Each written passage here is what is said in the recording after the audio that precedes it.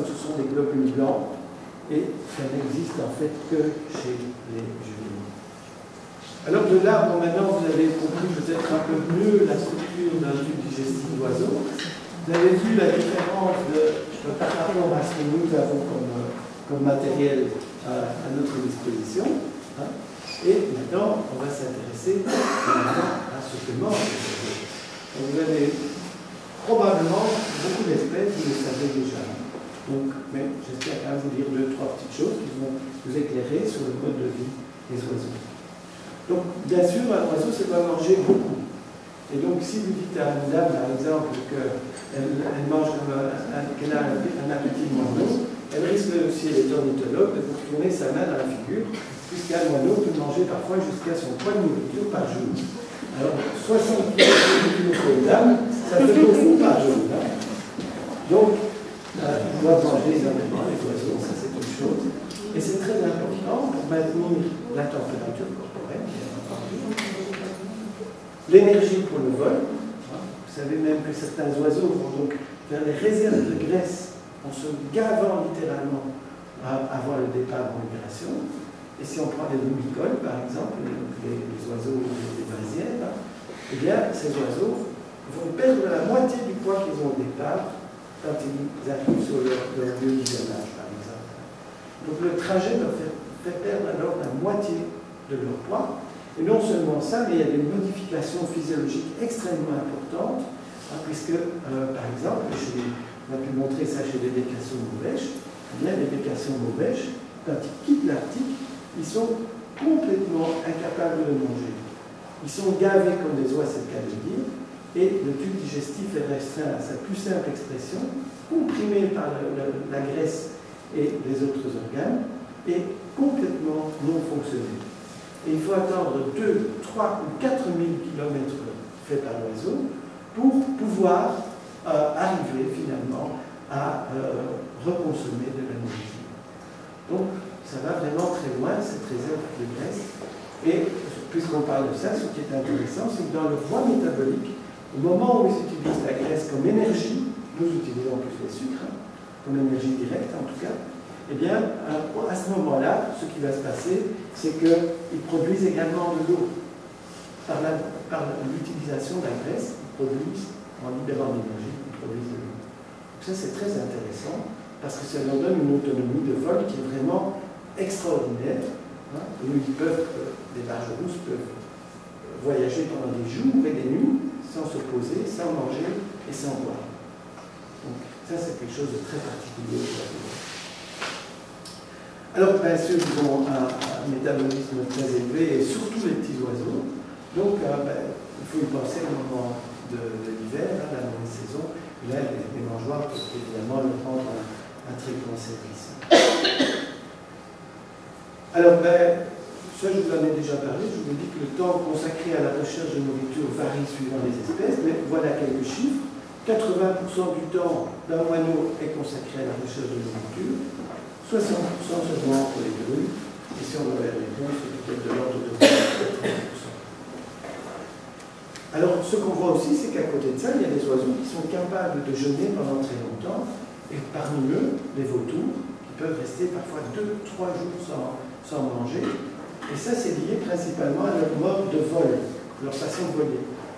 Alors, euh, imaginez, je ne sais pas si quelqu'un a déjà été les observer, par exemple, une colonie dans les Pyrénées, ou dans le sud de la France. Oui.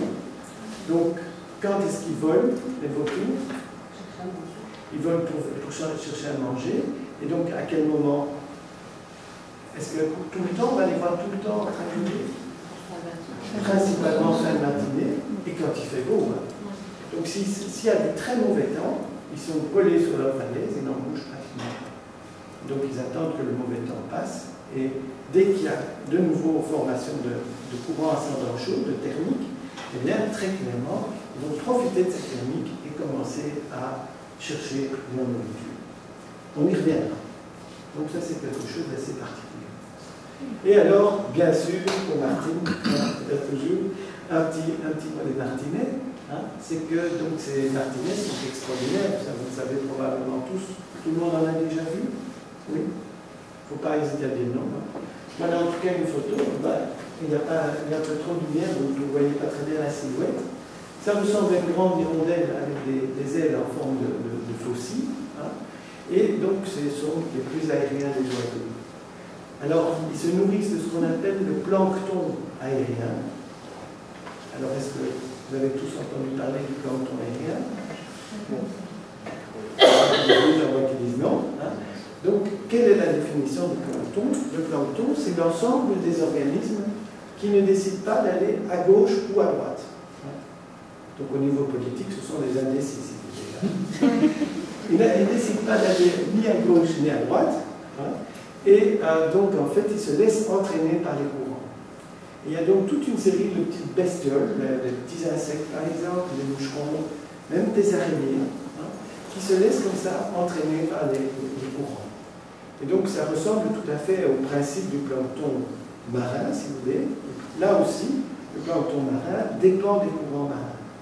Le plancton aérien eh bien, va dépendre des vents et des conditions atmosphériques. Pour vous donner une idée, on a pu démontrer par exemple que les acariens, hein, ces petites bestioles qui ressemblent vaguement à des araignées et qui, sont souvent responsables d'allergies chez les humains, bien que les acariens pouvaient voyager dans l'atmosphère sur des grains de sable.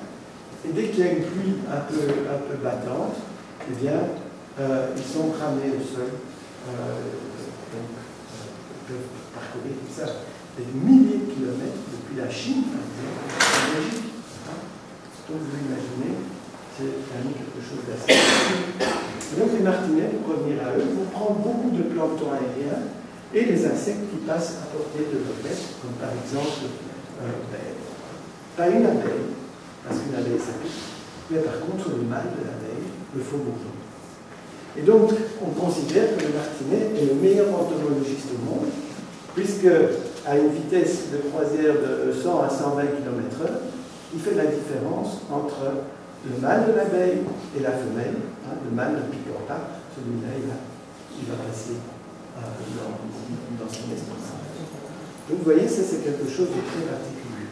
Évidemment, il faut des bonnes conditions au niveau de, la température et euh, au niveau du climat. Sinon, s'il pleut, par exemple, tous les insectes sont ramenés au sol. Donc là, on ne parvient pas à trouver sur sa nourriture. Et donc on assiste, on peut assister à des rétromigrations, comme on appelle ça, donc des martinets qui quittent et qui vont parfois à 1000, 2000 km, peut-être même plus, hein, euh, pour retrouver des zones de beau temps dans Quand c'est en période de reproduction, eh bien, ils abandonnent carrément leurs jeunes. Et qu'est-ce que les jeunes font?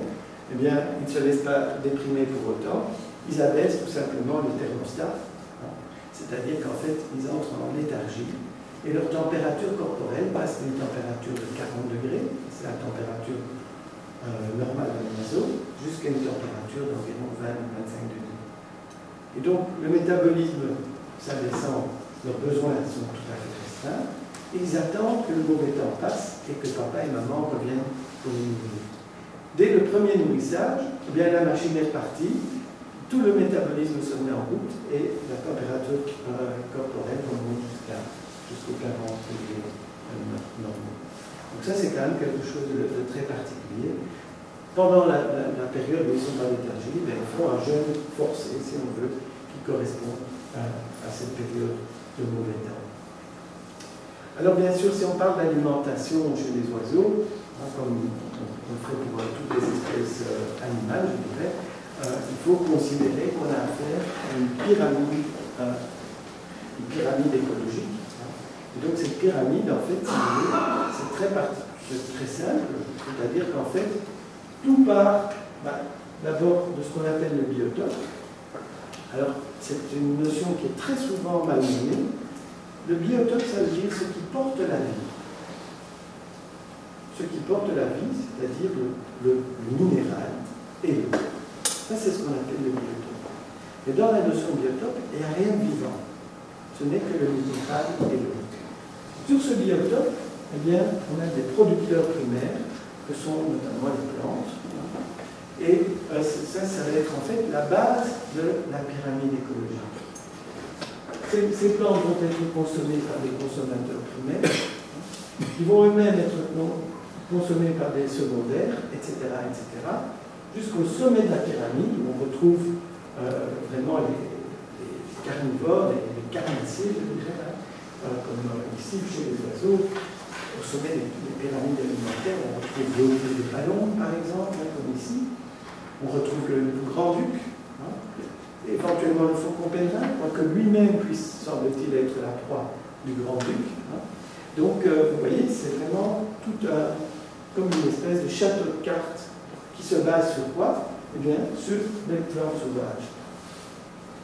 Alors, quand je dis plantes sauvages, je tiens à cette expression parce que, si vous y pensez, c'est la raison pour laquelle Pythagora se bat euh, de toutes ses forces pour essayer de garder de la spontanéité dans la nature et protéger les plantes sauvages. Si les plantes sauvages disparaissent, c'est la base de l'écosystème qui, s'effondre. Alors on a des, chiffres parfois catastrophiques, hein, puisque dans le Nord-Pas-de-Calais, par exemple, eh ils estiment qu'ils perdent 3 à 4 espèces de plantes sauvages chaque année. Autour de la plante sauvage se trouvent par exemple des insectes qui sont liés à la plante. Ça a pris des millénaires pour, créer cet équilibre entre le, prédateur et la plante. Hein. Et puis la plante disparaît, mais un prédateur disparaît. Comme, l'insecte disparaît, l'oiseau trouve moins de nourriture, et donc les populations s'effondrent également. Ça, c'est donc, si on a compris ça, on se bat pour avoir chez soi des plantes sauvages. Et on se bat contre les voisins qui, non d'une pipe, ont le culot de parler de mauvaises herbes. Je dis toujours qu'il n'y a pas de mauvaises herbes, il n'y a que des mauvais gens qui détruisent des bonnes herbes. Ça, c'est la réalité.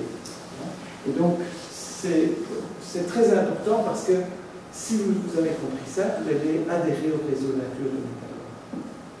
Si vous avez un petit peu de jardin, un, petit terrain quelque part, vous allez d'emblée, même une terrasse, hein, en, favorisant les plantes sauvages, en n'utilisant pas de pesticides, vous allez déjà favoriser la nature.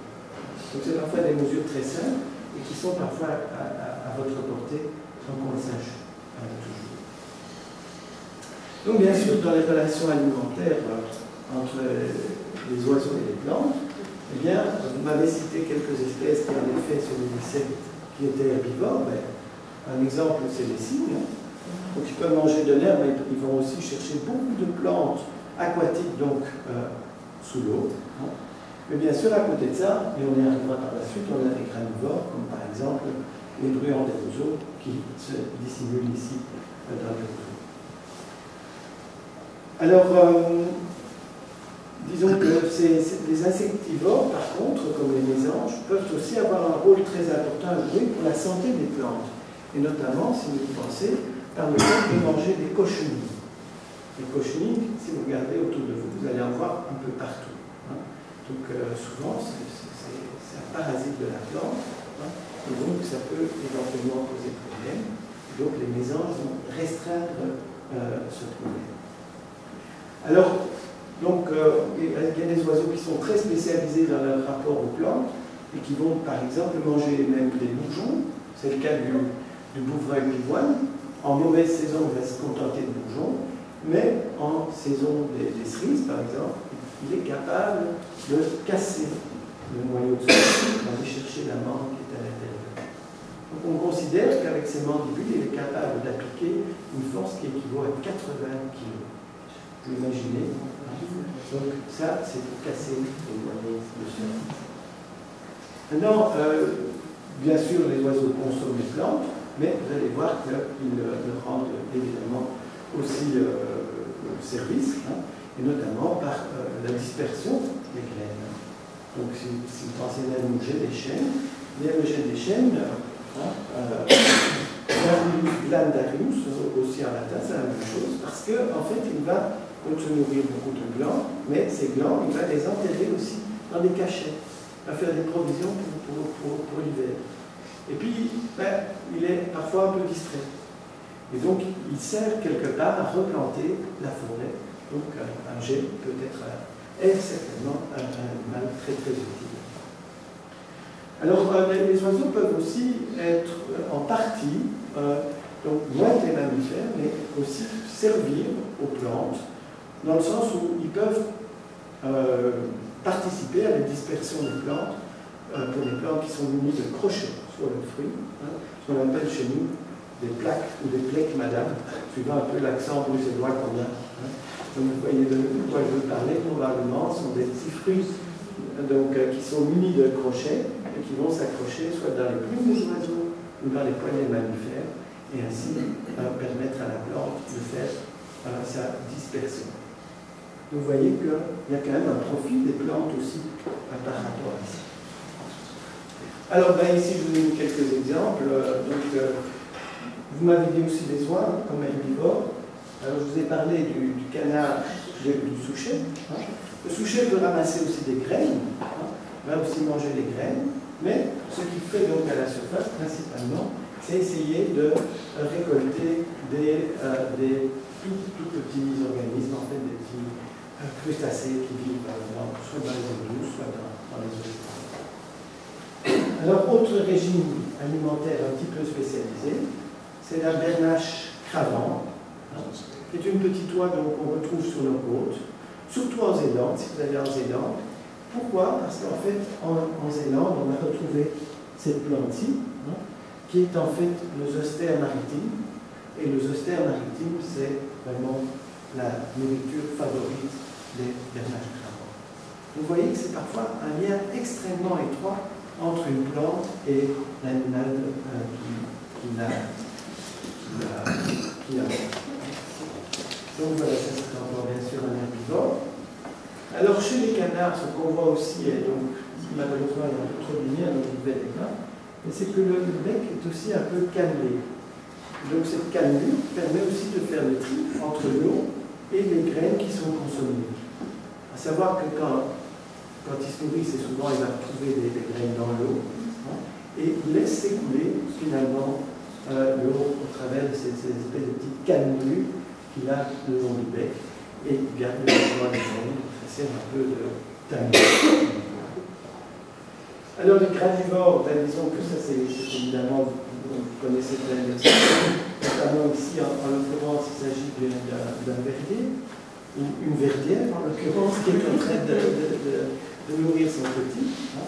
Donc les granivores, ben, c'est très caractéristique, ils ont une, morphologie du bec qui est très, très particulière, vous connaissez, qui est conique et très forte. Alors, le crâne est aussi muni d'une musculature puissante, hein. euh, sinon le, le ne pourrait pas casser le noyau. Hein. Et donc, euh, dans les granivores, on va retrouver principalement les passereaux, hein, mais pas uniquement. Mais donc, il y a beaucoup de passereaux qui sont spécialisés, si vous voulez, dans le, fait de manger les graines, comme les frangilidés. Donc, euh, les fringiles, tout le monde voit ce que c'est. On peut me citer un fragile Pinceau des. Voilà, par exemple, le pinceau et, et tout ça. Les embellisidés, donc, ce sont les, les brûlants. Les clocéidés, ça c'est pas de chez nous. Hein. Donc là c'est peut-être plus compliqué. Euh, et les astrides, ce sont les petites bestioles qu'on voit parfois en cage. Donc euh, les, astrides, ce sont ce qu'on appelle par exemple les mandarins et ce, genre de choses. C'est la famille des astrides. Alors, ce qu'on voit, c'est que dans ces familles de, passereaux qui utilisent les graines, en fait, on a deux, euh, deux modes distincts, si vous voulez, d'utilisation des graines. Les fringiles, ben, ils vont donc en fait euh, mettre la, graine entre les deux mandibules et littéralement cisailler les bords de la graine. Vous prenez par exemple un, verdier qui, mange une graine de tournesol. C'est très chouette d'observer à la mangeoise. Vous avez du tournesol, ils sont très friands de ça. Donc il met de la graine dans le bec et il cisaille littéralement avec le bec le bord de la graine. Puis ils la font rouler en fait avec la, langue, hein, ce qui leur permet de décortiquer littéralement la graine. Et le bec est même capable de petits mouvements latéraux qui permettent encore plus facilement de, euh, de, se débarrasser des enveloppes de la graine. Donc ça c'est vraiment un cisaillement.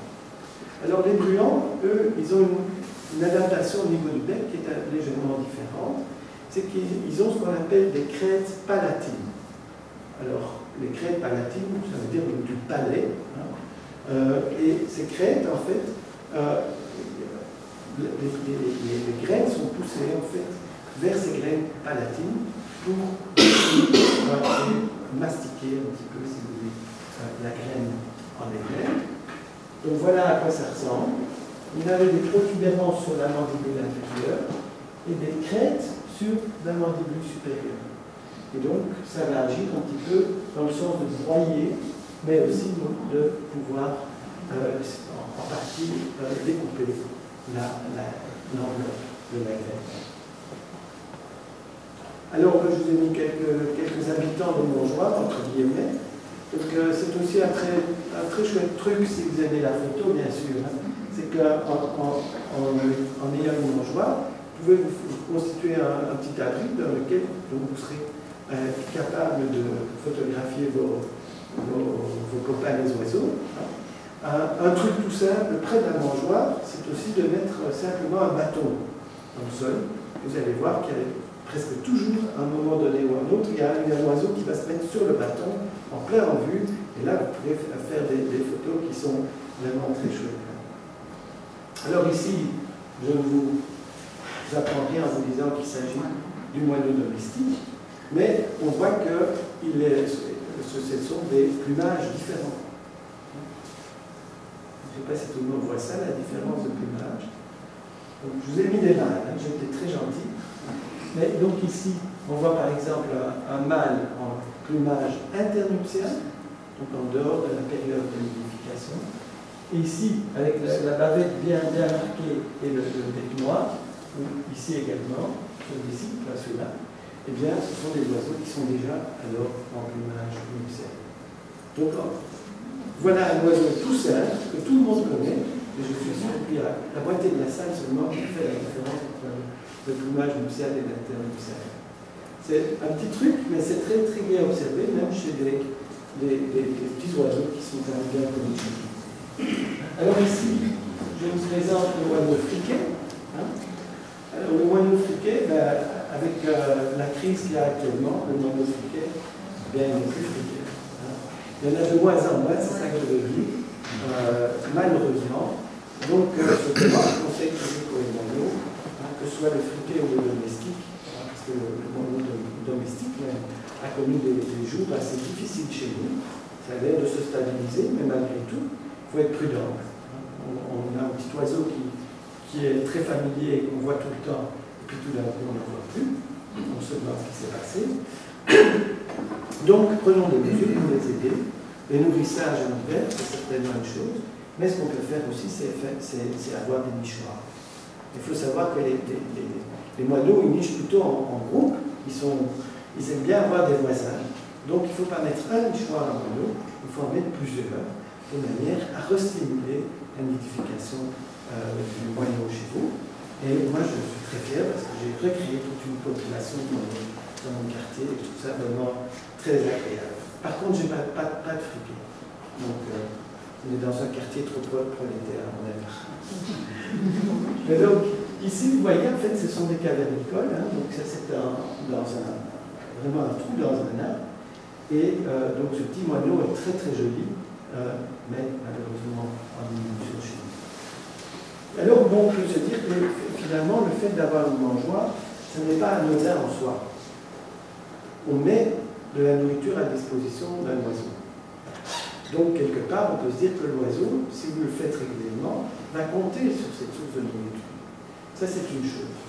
Mais on pense que c'est une des raisons pour lesquelles on peut observer des, différences dans la, façon de vivre des oiseaux, comme par exemple pour les fauvettes à tête noire, eh bien, on s'est rendu compte dans les dernières années, ce sont des, études qui ont été faites principalement en Allemagne, que la voie migratoire est, normalement vers le sud, grosso modo, hein, vers le sud, à partir de l'Allemagne, pour l'hiver, elle descend vers le sud. Et puis, aux surprises, dans les dernières années, qu'est-ce qu'on voit? On voit des fauvettes à tête noire allemandes qui vont hiverner en Grande-Bretagne. La Grande-Bretagne, ben, les gens là-bas euh, beaucoup les oiseaux, donc il y a beaucoup d'endroits où il y a des nourrissages. Et on, pense que la raison de ce changement d'habitude migratoire est liée à la, disposition, si vous d'une quantité de nourriture importante en hiver qu'il n'y avait pas avant. Donc, vous voyez que c'est peut-être pas anodin de, de nourrir, que si on le fait, eh bien, il faut évidemment se dire que ça a des conséquences et être conséquent dans la manière dont on le fait.